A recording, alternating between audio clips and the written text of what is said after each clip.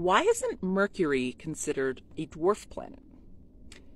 So, classifying planets is actually really tricky, and it's something that is happening organically as planetary scientists study and better understand the objects that we are actually studying.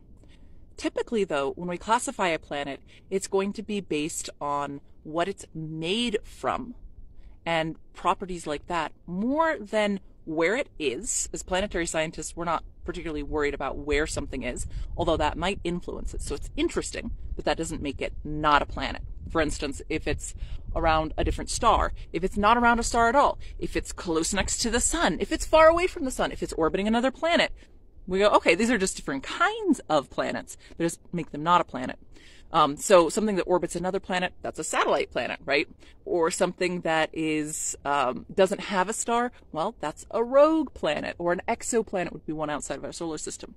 But with Mercury, when we look at what it's made from, it's made mostly from rock and metal. In fact, it has a lot more proportionally metal than any of the other terrestrial worlds.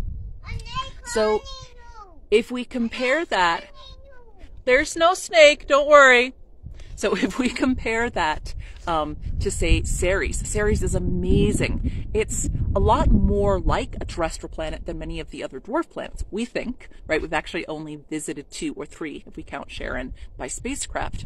Um, but if we look at something like Ceres, Ceres is rocky but it's also got a lot of water. In fact, we think it's about 25% water and probably more water than all of Earth has, despite only having the surface area of about the western United States, right? Its diameter is probably about, you know, Arizona or so. So, Mercury gets classified as a terrestrial planet because of what it's made from. The gas giants are called gas giants because they're made mostly from gases, hydrogen and helium. The ice giants have a lot of ices, water, ammonia, methane in them. The dwarf planets, we've been calling them dwarf because they're little.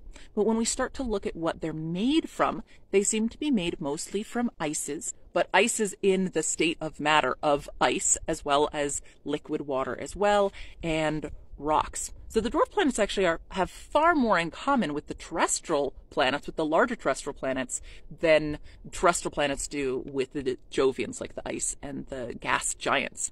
And then once we start adding in the moons, talking about Io, Europa, Ganymede, it starts to get really blurry, and we're still working on the terminology for that because we're still working on understanding them.